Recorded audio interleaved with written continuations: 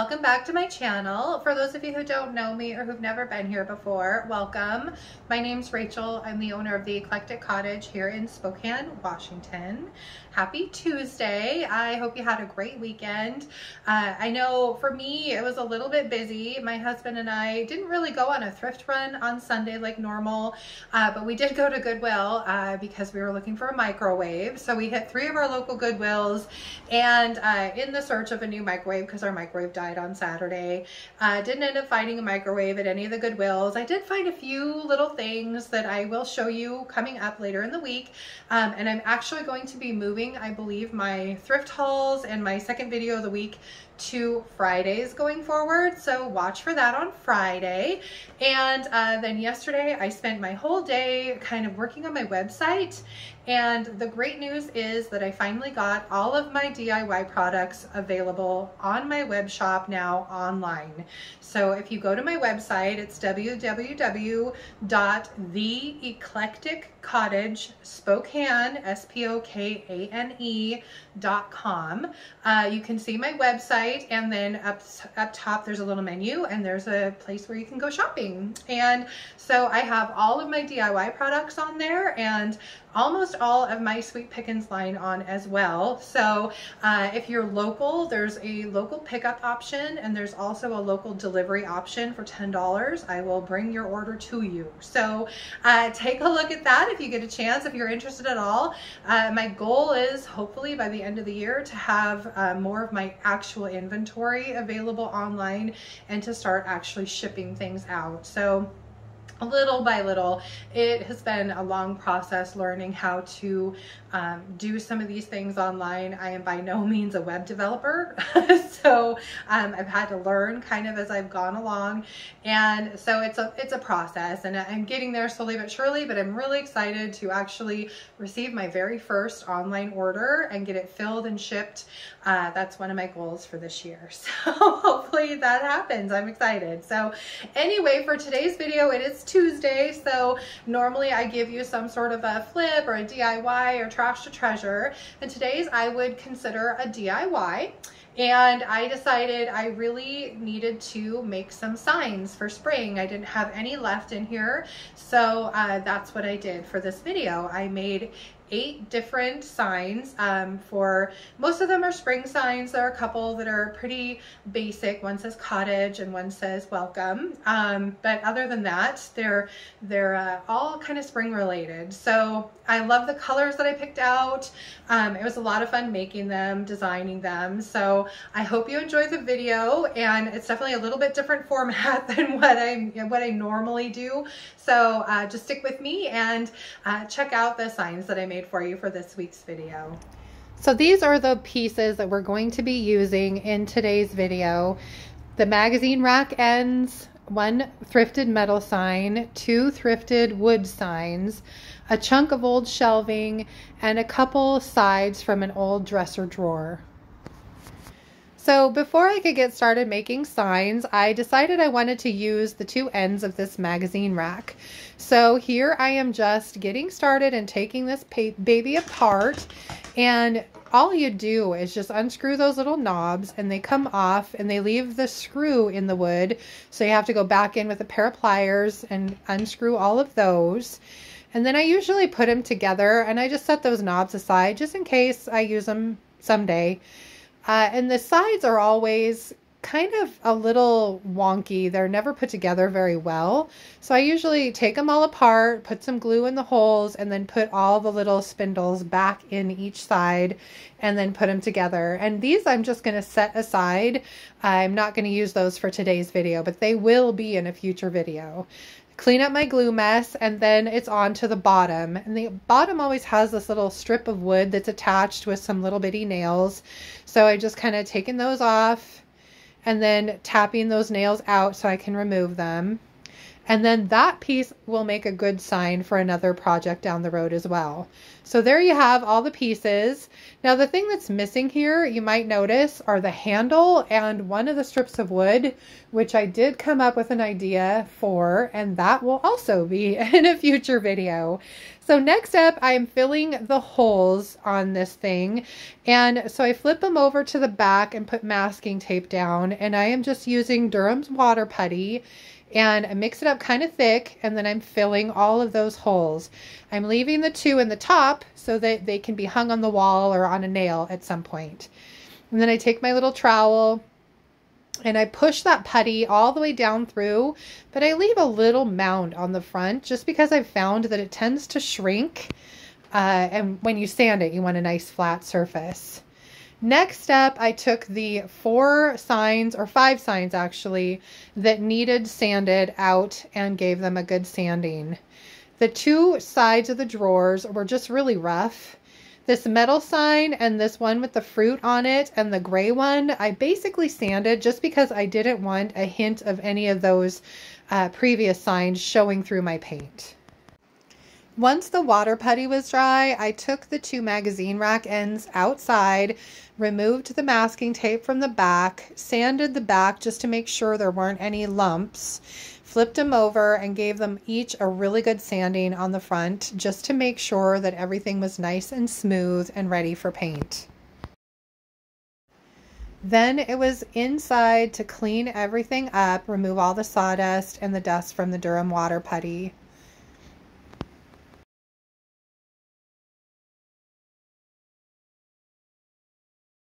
I decided I wanted these two to have a coat of black paint as the base. And the easiest way to do that was just to take them outside and spray them down with a really good coat of Rust-Oleum 2X matte black spray paint. Just a really simple way to give them a base coat so that when I distress, that black will shine through. Next, I started painting all of my different pieces. I had eight pieces to paint, so I picked four colors and did two in each. So I started with uh, DIY's Farm Fresh. I moved on to DIY's Little Black Dress then faded burlap, and last but not least, white swan.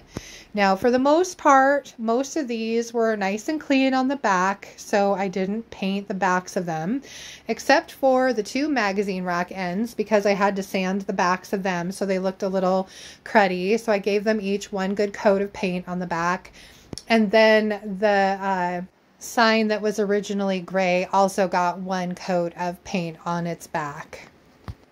Next on the agenda was distressing. So I took my tool, and this has some really old 220 grit sandpaper in it that really isn't gritty at all anymore, but it's good enough to kind of knock any chunks off and just smooth the surface out just a bit on all of these pieces.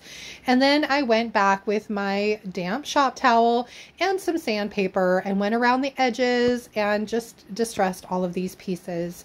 The two pieces that were routered, I really concentrated on getting those routered edges.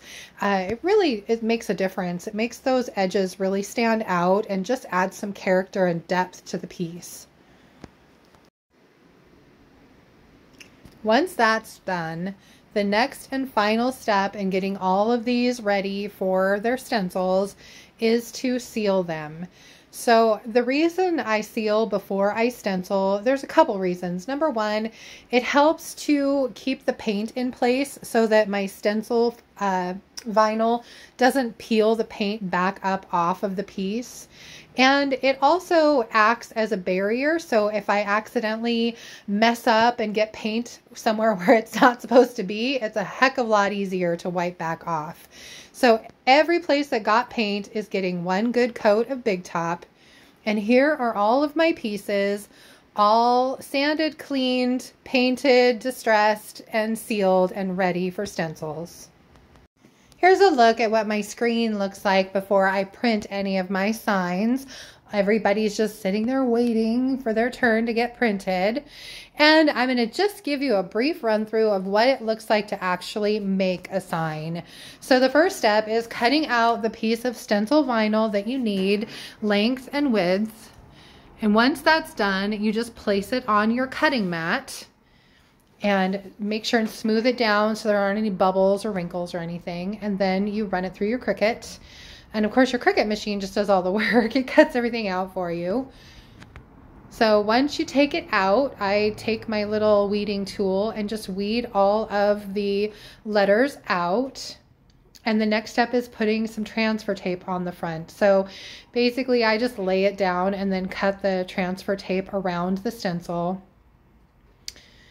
And next you peel the back off of the vinyl. Um, and just make sure that you go slow and that all your pieces stick. Now here you'll see I'm using my sleeve to try and make it a little less sticky so I don't have to worry about it peeling up paint when I finally remove it. So next, once it's down where you want it and you smooth it all down, you peel the transfer tape tape off. And if you've done everything properly, you should have nothing left on your piece but your stencil vinyl. So I normally go through and just kind of smooth it out. Now on this one, I kind of messed up and I did not cut my vinyl quite long enough. And even though the W was there, there just really wasn't anything to protect the end. So I just put a piece of masking tape over it and that was good. I go over each letter twice with my paint. And for this one, I'm using DIY's crinoline. And, uh, oh, for the actual unit that I'm using to, to stencil with is just a makeup sponge. I get them at the Dollar Tree. So once that's done, you just peel off your vinyl and weed out the excess and then you're finished. So I did this same procedure for all of the signs. This one was one of the white ones and I stenciled cottage on that. And peel, just being really careful to not peel too hard uh, and end up ripping up some of your paint. And weed out the rest. And there's that one all done. This is probably one of my favorites. This one says fresh herbs. And here I am just you doing two more good coats of stencil paint on it. I'm using DIY's crinoline for that one again. And then weeding out all the little itty bits of, of uh, vinyl. And then there, there's that one finished. And then onto this one. This is a metal sign, so I have to be really careful when I peel that uh, tape back up. But it came up really easy. And this one turned out really good as well. Now for this next one, I had a bubble in the vinyl when it was going through the Cricut that I didn't see. And when it cut everything out, the V was messed up. So I covered up the V portion of the sign with some masking tape and just stenciled as usual. Uh, and then once I got everything weeded and taken care of, I reprinted just the V. And got that all cut out, cut it down to size with my scissors, and laid it down where it needed to go. Surrounded it with some masking tape just so that I didn't accidentally um, get paint all over everything else. And then I went about stenciling in that V. So I'm just taking my little makeup sponge and pouncing that paint on and then peeling that little bit of stencil back. And thankfully it turned out really good. So we're down to my last few signs. This one I sanded a little bit before I put the stencil vinyl down just to make sure I didn't pull up any paint when I peeled it up. So, and the image here I actually purchased on Etsy. It's one of the two out of the eight that I didn't make myself. This one, I forgot to take any footage of me stenciling it, so, but here I am weeding it. And then this last one is probably my favorite one just because I like the saying so much. Uh, but I'm just going to show you step by step again how to get the stencil ready to be printed. Uh, cut it out the size that you need, put it on your stencil mat, run it through your Cricut, take it out, weed it, uh, then attach your transfer tape, peel the backing off your transfer tape, and then place your piece on uh, down onto whatever surface you're stenciling. So uh, once your piece is down, then peel the transfer tape back and you're left with just your vinyl stencil. And I usually use my little makeup sponge and put two light coats of paint over all of my stencil. Then peel it up, weed it, and you're done. So the last step in all of this is to seal the stencils. And what I chose to use for this step was Rust-Oleum's Clear Matte Spray. And the reason I'm using a spray is because in the past I've tried to use a brush on and every once in a while it will reactivate that DIY paint and smear it. I find it's a lot more, a lot easier, I guess, to just spray it on and then I don't have to worry about any smudging or smearing in the end. So here I'm just kind of showing you the can and I went over every single piece with a coat of the matte spray. Now, finally, we're done with everything except embellishments. So for this welcome sign, I had this berry garland and I wanted to use it for the O. So I just took several strands, wrapped them kind of around my hand, used some wire to wire it all together and just made a little wreath and hot glued it on. For the two um, that are the ends of the magazine rack, I love the little handles and I like embellishing those. And so here I am just wrapping some kind of thick jute gluing, gluing it in place as I go with some hot glue and just getting it kind of wrapped around that handle. Cutting off the excess. And once that's done, I made just a cute little lace ribbon that I glued down. Cut off the tassels and then added a little piece of bling. And then that one was done. And then this last one, I did the same kind of effect. I just took smaller jute, glued it down, wrapped the handle, and instead of making a lace ribbon, I just wrapped the jute with some lace, glued that on, and then in the center, I added one of those blingy brooches that I have. So just cut off any excess and the blingy brooch. And then this is my last final sign. And then, then they are all finally done.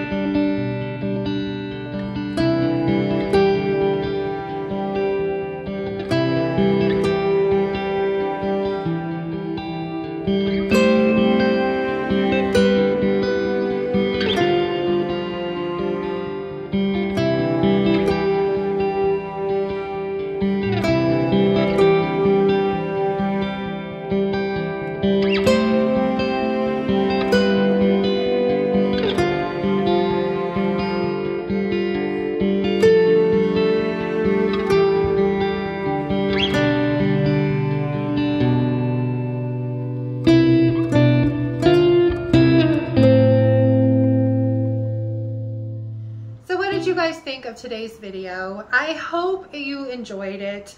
Uh, it was a little bit different than my normal uh, thrift flip videos. And so honestly, it was a little more difficult for me to edit. I was really worried about how it would all kind of flow together. So hopefully it translated well um, and you actually enjoyed watching it. That's my hope. Um, and if you did, please remember to give it a thumbs up. And uh, if you haven't already, I love it if you would subscribe to my channel and then hit the little notification bell and that will let you know when I upload new content. Um, I have been doing it currently uh, Tuesdays and Thursdays. I am probably, in fact, I am going to switch that to Tuesdays and Fridays going forward. So my next video will be released on Friday. Not sure exactly what it's gonna look like yet. I have a little itty bitty uh, thrift haul, but um, not really enough to constitute an entire video. So we'll see. There'll probably be something else added on there as well. so anyway, that's it from here for today. Um, I would love to hear which of the signs was your favorite. So please comment below and let me know. And I hope to see you back here on Friday. Have a great rest of your week and I'll see you then. Thanks. Bye. Bye.